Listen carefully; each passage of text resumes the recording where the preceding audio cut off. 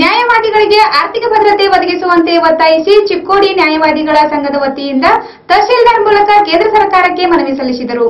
ನ್ಯಾಯವಾದಿಗಳಿಗೆ ಆರ್ಥಿಕ ಭದ್ರತೆ ಒದಗಿಸುವಂತೆ ಒತ್ತಾಯಿಸಿ ಚಿಕ್ಕೋಡಿ ನ್ಯಾಯವಾದಿಗಳ ಸಂಘದ ವತಿಯಿಂದ ತಹಶೀಲ್ದಾರ್ ಮೂಲಕ ಕೇಂದ್ರ ಸರ್ಕಾರಕ್ಕೆ ಮಂಗಳವಾರ ಮನವಿ ಸಲ್ಲಿಸಿದರು. ಚಿಕ್ಕೋಡಿ ನ್ಯಾಯವಾದಿಗಳ ಸಂಘದ ವತಿಯಿಂದ ನಗರದಲ್ಲಿ ಪ್ರತಿಭಟನೆ ನಡೆಸಿ ನ್ಯಾಯವಾದಿಗಳ ಬೇಡಿಕೆ ಈಡೇರಿಸಬೇಕೆಂದು ಆಗ್ರಹಿಸಿ ತಹಶೀಲ್ದಾರ್ ಡಾಕ್ಟರ್ ಸಂತೋಷ್ ಬಿರಾದರ್ ಅವರ ಮೂಲಕ ಮನವಿ ಸಲ್ಲಿಸಿದರು. ಈ ಸಂದರ್ಭದಲ್ಲಿ ನ್ಯಾಯವಾದಿ ಸತೀಶ್ ಕುಲಕರ್ಣಿ ಮಾತನಾಡಿ, ನ್ಯಾಯವಾದಿಗಳ ಕಾಯ್ದೆ ಹತ್ತೊಂಬತ್ತು ನೂರ ಪ್ರಕಾರ ನೋಂದಣಿಯಾದ ನ್ಯಾಯವಾದಿಗಳ ಸಂಘಕ್ಕೆ ತಾಲೂಕಾ ಮಟ್ಟದ ನ್ಯಾಯಾಲಯದ ಆವರಣದಲ್ಲಿ ಸೂಕ್ತವಾದ ಕಟ್ಟಡವಿಲ್ಲ. ಬಡ ಜನರ ಪರವಾಗಿ ಹಾಗೂ ಸಾಮಾಜಿಕ ನ್ಯಾಯಕ್ಕಾಗಿ ಹೋರಾಟ ಮಾಡುವ ನ್ಯಾಯವಾದಿಗಳಿಗೆ ಆರ್ಥಿಕ ಭದ್ರತೆ ಇಲ್ಲ. ಕಲ್ಯಾಣ ನಿಧಿಯಲ್ಲಿ ಹೆಚ್ಚಿನ ಬಿಡುಗಡೆ ಮಾಡಬೇಕು. ಸೇರಿದಂತೆ ಮುಂತಾದ ಸೌಲಭ್ಯಗಳನ್ನು ಒದಗಿಸಬೇಕೆಂದು ಒತ್ತಾಯಿಸಿದರು.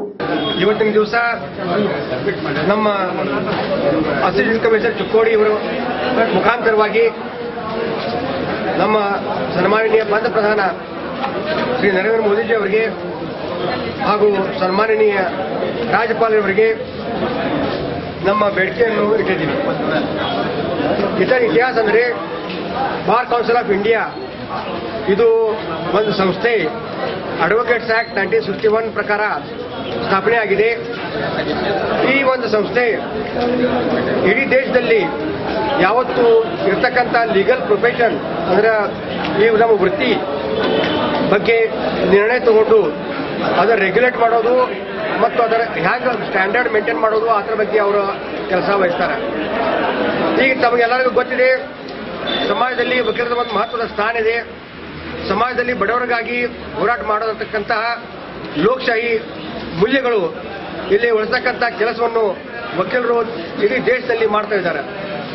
ಆದ್ರೆ ಇವತ್ತಿನ ದಿವಸ ಯಾವುದೂ ನ್ಯಾಯಾಲಯ ಒಳಗೆ ಯಾವುದೂ ಒಂದು ಸೌಕರ್ಯ ಇಲ್ಲ. ಅಂದ್ರೆ ನಮ್ಮ ತಾಲೂಕಾ ಮಟ್ಟ ನ್ಯಾಯಾಲಯದಲ್ಲಿ ಅದೇ ಪ್ರಕಾರ ನಮ್ಮ ವಕೀಲ ಅಸೋಸಿಯೇಷನ್ ಏನಿರ್ತದಲ್ಲ ಅದಕ್ಕೆ ಸುಸ, ಸುಸಜ್ಜವಾದಂತಹ ಕಟ್ಟಡವೂ ಇಲ್ಲ. ಅದೇ ಪ್ರಕಾರ ವಕೀಲರಿಗೆ ಯಾವುದೂ ಒಂದು ಲೈಫ್, ಫೈನಾನ್ಷಿಯಲ್ ಸಪೋರ್ಟ್ ಯಾವುದೂ ಇಲ್ಲ. ಅದಕ್ಕೆ ನಾವು ಆ ಕರ್ನಾಟಕ ವೆಲ್ಫೇರ್ ಸ್ಕೀಮ್ ಅಂತ ಒಂದಿದೆ. ಆ ಸ್ಕೀಮ್ನಲ್ಲಿ ಬಹಳ ಕಡಿಮಷ್ಟು ಹಣವನ್ನು ನಮ್ಮ ದೊರೆತದೆ.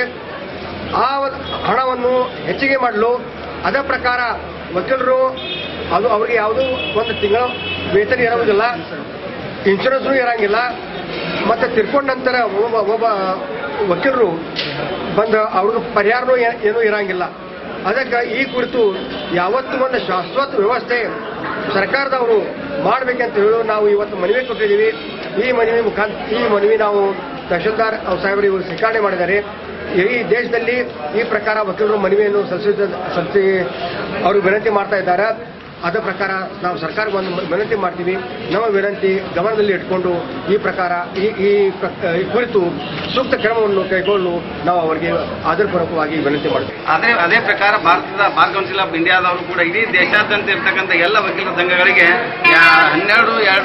ಸಾವಿರದ ಹತ್ತೊಂಬತ್ತನೇ ತಾರೀಕು ದಿವಸ ಒಂದು ಇಡೀ ದೇಶ, ದೇಶವ್ಯಾಪಿ ಒಂದು ಕ್ರಾಂತಿಯನ್ನು ಮಾಡುವುದಕ್ಕಾಗಿ ವಕೀಲರ ಕಲ್ಯಾಣಕ್ಕಾಗಿ ಒಂದು ಒಳ್ಳೆಯ ಹಣವನ್ನು ಮೀಸಲಾಗಿ ಇಡುವ, ಇಡುವುದಕ್ಕಾಗಿ ಒಂದು ಬೇಡಿಕೆ. ಈ ಸಂದರ್ಭದಲ್ಲಿ ನ್ಯಾಯವಾದಿ M B Patil, Girish Kundruk, V G Madapgol, E M Patel, B B Jadhav, S R Harke, S G Hiremath, Ajit Bone A R Patil, M I Bandawade, N D Shetty S B Pujari, D A Patil ಮುಂತಾದವರು ಉಪಸ್ಥಿತರಿದ್ದರು.